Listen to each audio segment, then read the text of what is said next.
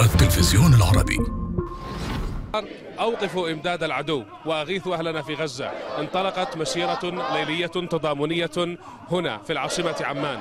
المشاركون في المسيرة يطالبون بأن يكون هناك تنديد وضغط لإيقاف الجرائم المستمرة للاحتلال الإسرائيلي في قطاع غزة. ويؤكدون أنه يجب أن يكون هناك موقف عربي رسمي واضح ومحدد وحاسم من هذه المجازر المستمرة في قطاع غزة. وأكدوا أنها يجب أن يكون الحكومة الأردنية أيضا موقف واضح من العلاقات الأردنية الإسرائيلية المشاركون رفعوا الكثير من الهتافات واليافطات التي تطالب بالاحتلال بوقف الجرائم المستمرة في القطاع.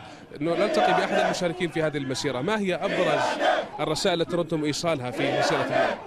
طبعا هي الرسالة الأولى والوحيدة أن الشعوب العربية كلها بلا استثناء مع نبض المقاومة ومع مقاومة الاحتلال ودعم أهلنا في غزة. يعني الشعار اللي رفعناه دائما لن نترك غزة وحدها. الشعب العربي والشعب الأردني بالذات هو عمق استراتيجي للمقاومة وكل الشعوب مع نبض المقاومة. ما بدنا قواعد أمريكية ما بدنا سفارات إسرائيلية ما بدنا حزب الناتو بالأردن. بدنا إيقاف إمداد العدو من أي دولة بتمد العدو بأي طريقة. أوسلو خيانة كامب ديفيد خيانة وادي عربي خيانة. يقفوا كل هاي الاتفاقيات ونظرة رحمة لجيراننا بغزة.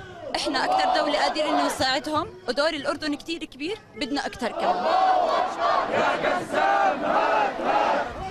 إذا هذا جزء من الهتافات التي يطالب بها المشاركون في هذه المسيرة ومن ضمنها أغيثوا أهلنا في غزة. اليوم الحديث أيضا عن المساعدات الإنسانية يجب أن تكون بشكل أكبر وإيقاف حرب المجاعة وحرب الحصار التي يمارسها الاحتلال الإسرائيلي منذ أكثر من تسعة أشهر على قطاع غزة.